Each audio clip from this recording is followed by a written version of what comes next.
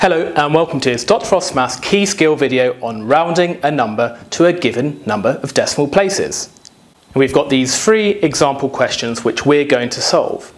Now if we want to round 3.746 to one decimal place, that means we want to keep one digit after the decimal point. And remember that this here, this dot, is the decimal point.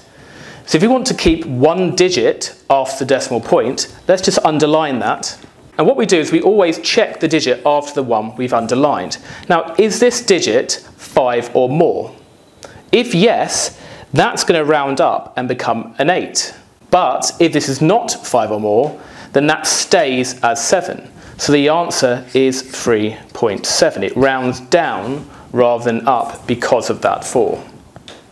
And note that we indeed have one digit left after the decimal point, so we've rounded it to one decimal place.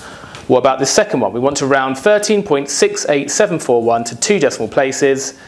Because it's two decimal places, we want to keep two digits after the decimal point. So we underline those. And as I said before, we look at the digit just after those we've underlined.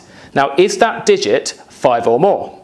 Yes, it is. And therefore, that's going to go up by 1. So we get 13.69.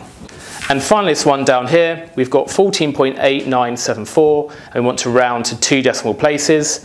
Well, it's two decimal places, so I underline two digits after the decimal point, and we check the next digit.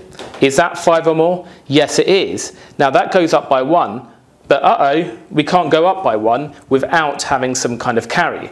And that indeed is what happens. So that 89 goes up by one to 90, and we put 14.90. Now you might wonder whether we need that zero or not, because 14.9 is the same as 14.90, isn't it? However, because we said we want it to two decimal places, we do have to give two digits after the decimal point, and that's indeed what we have done.